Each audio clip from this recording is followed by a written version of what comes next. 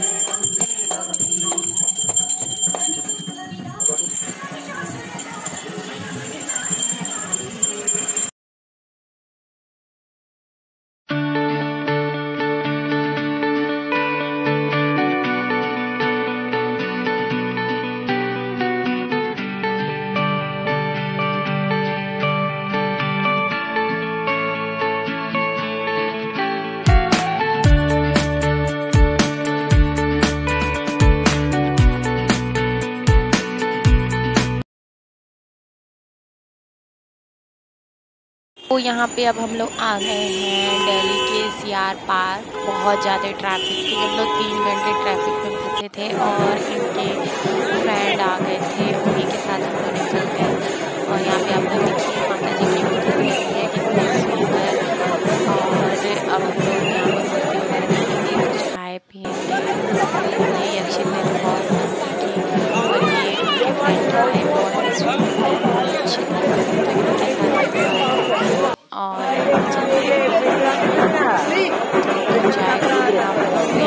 enjoy यहाँ पे अक्षित भी एंजॉय